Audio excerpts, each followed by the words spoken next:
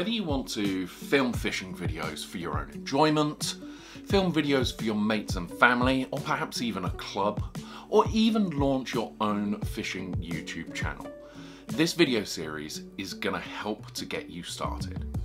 I'll be demoing some of the phone's features on an iPhone, but if you're an Android user, still loads of transferable skills and advice in here for you too. The first time I filmed myself fishing was when I was tench fishing.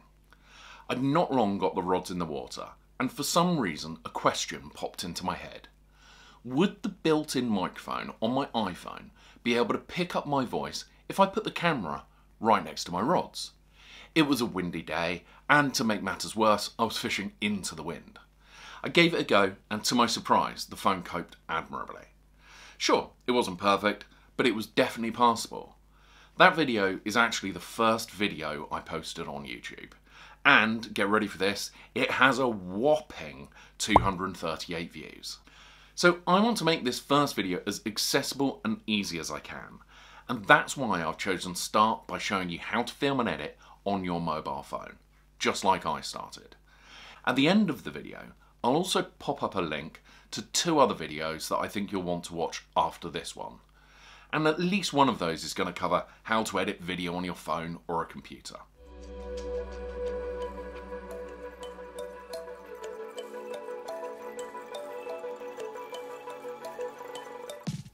So, you might be asking yourself, is a phone really the best option for filming?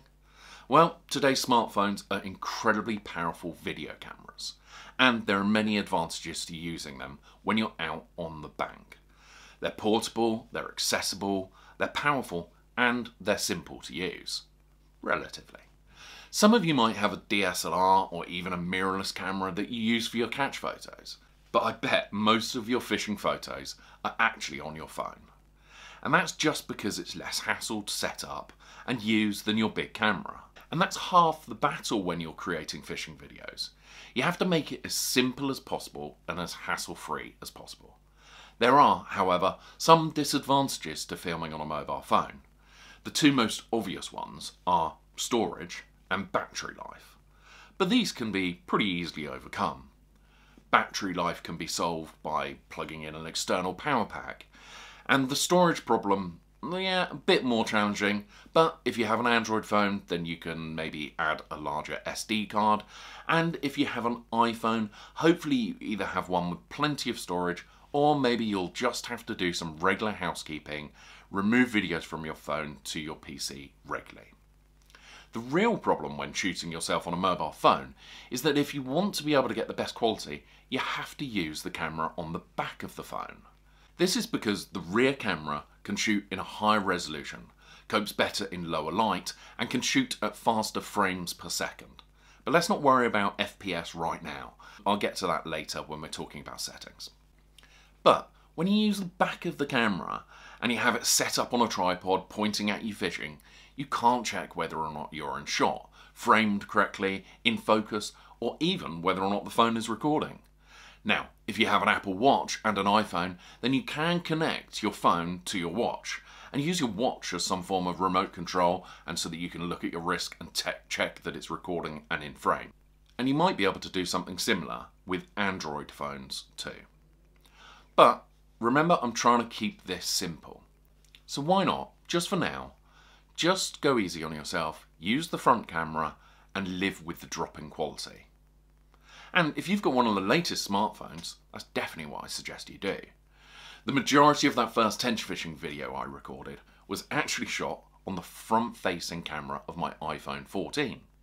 Certainly the pieces to camera, when I'm talking directly into the lens of the camera like this, those were definitely shot on the front camera. However, there's no denying that the rear camera of your phone is going to be better quality and will give you more options when it comes to editing your footage. So what is the minimum amount of tech that you can get away with when you go fishing? Well, I'd suggest obviously your phone, a tripod or maybe a bank stick and an adapter screw, and a phone holder for your tripod. Most of you will already have that gear for your self-catch photos. So what else would I recommend? Well, a portable battery pack. As I say, filming video will quickly use up your phone's battery. A phone cage It definitely helps and it allows you to add the battery pack on, maybe external microphones and things like that. And that leads me on to audio. Audio is 50% of video. Now, an external microphone will definitely improve the quality of your audio. A wireless lapel is ideal, but they're quite expensive and you can use a shotgun mic which you can plug into your phone and it will just pick up the audio that you're pointing at. So that's a great option. If you've got money burning a hole in your pocket, then check out the video description and you'll find some links to some of the equipment I use or recommend. Now, some top tips for beginners. Don't just hit record and keep it going. This only leads to editing hell. You have to be selective and decisive with your shots. And it's best to avoid moving your phone about when you're filming, as this will just look amateurish.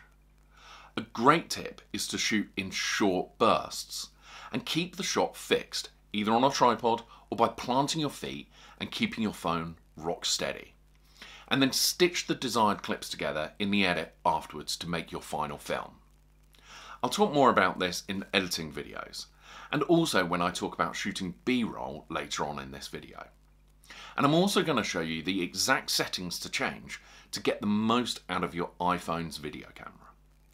But if I'm shooting cutaways and B-roll, I typically shoot around 10 seconds of video on each shot. This is great for shots of your reel, shots of your bait, shots of your tackle, that type of thing.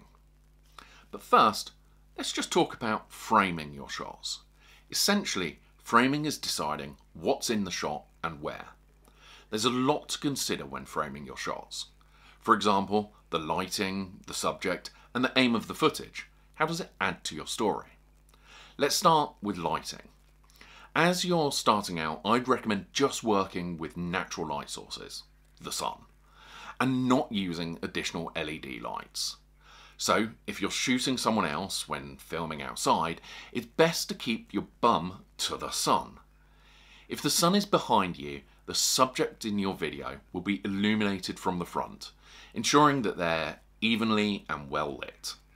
And if you're shooting yourself, make sure you're either looking into the sun, or if that's making you squint, just have the sun at say a 45 degree angle to you. What you definitely want to avoid is having the sun pointing at the camera lens, as that will overexpose your footage, making you look all white and washed out, and you'll get weird light features like sun glare. So some framing techniques. A great rule to use, whether you're shooting video or even mm-hmm. taking photographs, is the rule of thirds. Imagine the image divided up into three sections, two horizontal and two vertical guidelines. The idea is that the item of interest are best placed on the intersection of those guidelines. Later in this video, I'll show you just how you can put a grid up on your phone to help you with that. Now, symmetry is important, but if an image is too balanced or too similar in both left and right halves, the audience may find it dull and boring. Instead, placing items that you wish to draw attention to above the mentioned lines of the intersections, even if that seems counterintuitive, would leave you with more beautiful imagery. Another great technique you need to know is something called the three-shot sequence.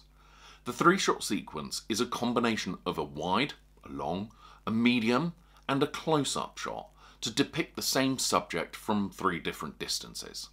Often different angles are used for each shot. A good three-shot sequence to practice is to start wide at the greatest distance and move progressively closer to the subject. But make sure that you move with your feet. Please don't use the digital zoom on your phone as this will just end up giving your footage a grainy, kind of wobbly feel.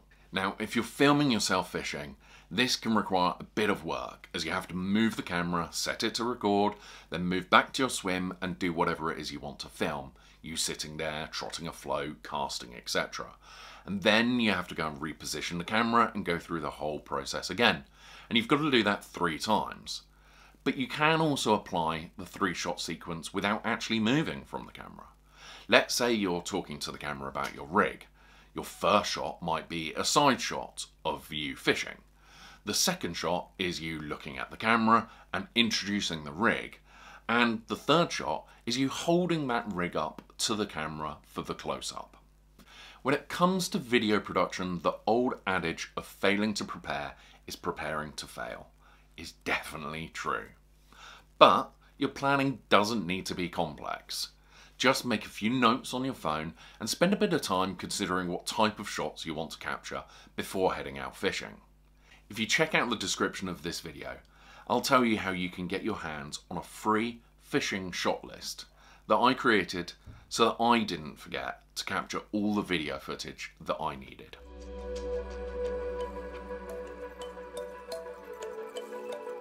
Under composition, we've got grid and level. Let's turn both of these on. When you're shooting, this is going to overlay a grid and a level onto your screen. So it's easier to line up your shot to frame things using the rule of thirds and to make sure that your camera is level. Thanks for watching this video.